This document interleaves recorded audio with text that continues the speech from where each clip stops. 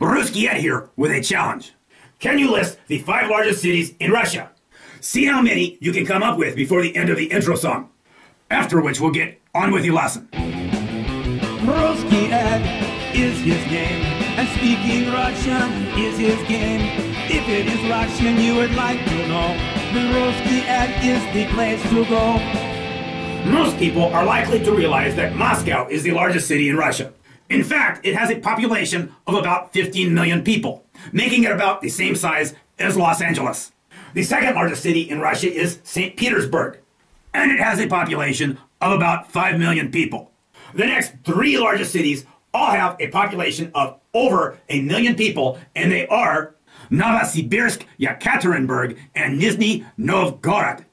Other cities that you may have thought of include Vladivostok, Irkutsk, Omsk, Volgograd, and Sochi, to name just a few. We began this lesson with a blank map of Russia, which looks a little something like this.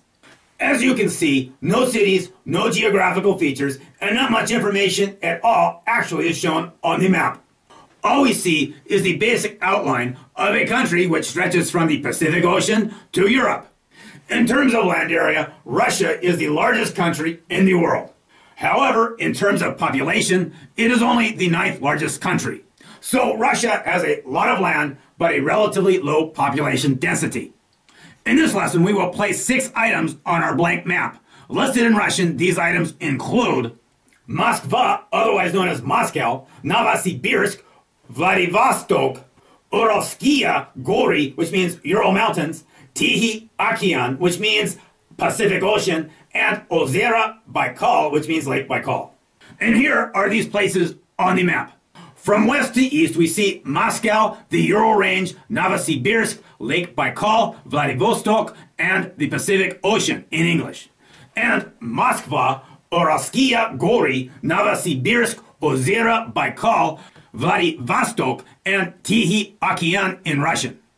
As already mentioned, Moscow is the largest city in Russia, but it is also interesting to point out that Lake Baikal is the largest freshwater lake on the planet, and that it contains one-fifth of the world's fresh water. Further, although for the most part the English and Russian forms of the names for these places sound similar, that is not the case for the Pacific Ocean and Tihi Okean, oddly enough. And now for two sample sentences. First up, we have Vladivostok расположен на восточном побережье России. It means Vladivostok is located on the east coast of Russia. Keywords in the sentence include Расположение means location, placement, or arrangement. Vostochny means east or eastern. Побережье means coast, shore, or seaboard. With these definitions in mind, and using the proper grammatical forms of these words, we can see that Vladivostok расположен на восточном побережье России means Vladivostok is located on the east coast of Russia. The next sentence goes like this. Мы посетили Уральские горы в течение недели. It means we visited the Ural Mountains for a week. First of all, it should be noted that while the word mountains is capitalized in English, when we write Ural Mountains, the word gori is not capitalized in Russian when we write Uralskaya Gori. Also of special interest are the words Pasitits means to visit, Techenia means current or flow, Techenia means through the course of, and Nedelia means week. Keeping these definitions in mind and using the appropriate forms of these words, it is apparent that Muy pasitili Uralskaya Gori Techenia Nedeli means we visited the Ural Mountains for a week. By way of quick review, here are a few words and a couple sentences.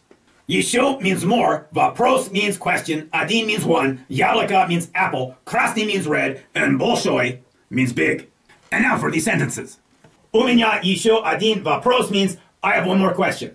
And Umenya Bolshaya Krasnaya Yablaka means I have a big red apple. And that's it for this lesson. Rusky Ed, signing out now. Das Vidanya!